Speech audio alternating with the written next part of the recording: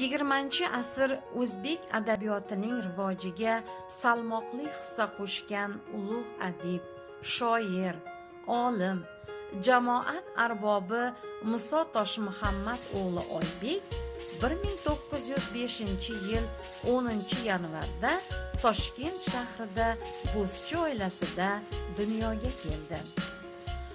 Oldin o'rta maktabda 1922-1925 yillarda esa Toshkent ta'lim va tarbiya texnikumida ta'lim oldi.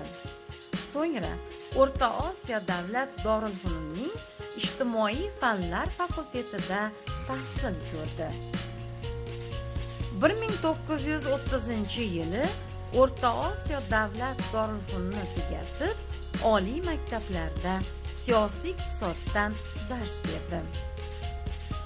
Oybek adabiyotga 1926 yili chop etilgan tuyg'ular she'riy to'plami bilan kirib keldi. Shoirning dilbar davr qizi o'ch baxtigul va sog'indiq temirchi jo'ra dostonlari o'z davrining she'riy solnomalaridandir u tarixiy va zamonaviy mavzularda yigirmaga yaqin dostonlar yaratgan. Oybek she'riyati nihoyatda go'zal bo'lib o'zining sodda ravon va ifodali tilda boy va rang barang tasviriy vositalarda yaratilganligi bilan alohida ajralib turadi. Oybek mohir shoir bo'lgani kabi yetuk romannafis ham edi.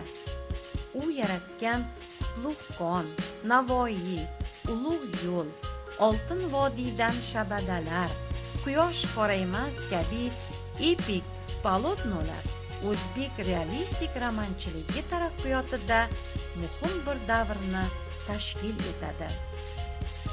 O'zbek xalqining 1916 yilgi milliy ozodlik qo'zg'oloni yozuvchining qutlug'qon romanida zo'r mahorat bilan realistik ifodalangan bo'lsa navoiy romanida o'zbek adabiyotida birinchi bo'lib ulug' shoir va mutafakkir alisher navoiy obrazini yaratdi.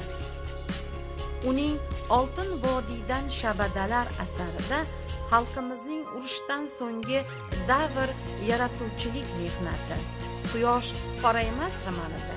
Ikkinchi jahon urushi fojialari o'z ifodasini topgan. Adibning ulug' yo'l asari esa qutlug'qon romanining mantiqiy davomi bo'lib unda yozuvchi xalq milliy ongining shakllanishini ko'rsatishga intilgan.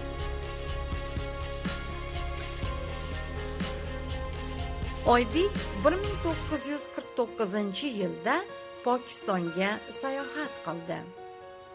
Adib qardosh xalq hayotini fikr va tuyg'ularini kurash va intilishlarini pokiston xotiralari o'chirklari qator she'rlari zafar va zahro haqgo'ylar dostonlarida nihoyat nur qidirib qissasida tasvirlagan.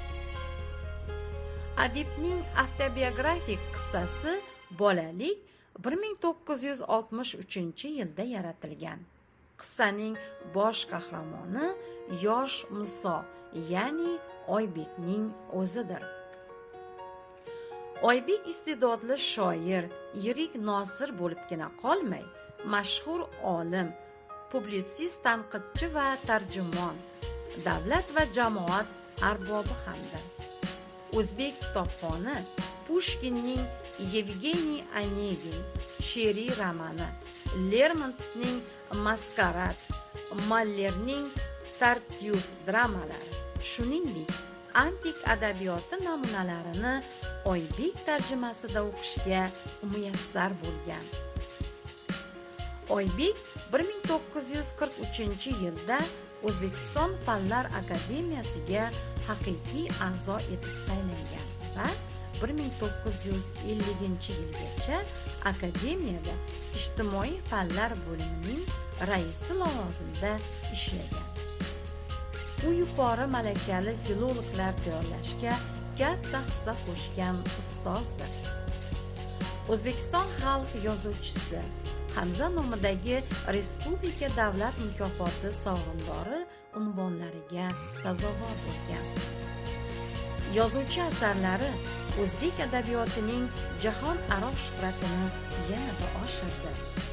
Ustoz mahorati yosh yozuvchilar uchun ijod dorixoniga aylandi oybekning o'lmas asarlari ma'naviy xazinamizdan mustahkam o'rin oldi va umumxalq mulki bo'lib qoldi?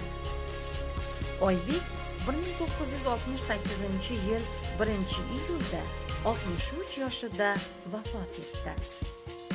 Vafotidan so'ng uning 20 jildlik to'la asarlari majmuasi nashr etilgan.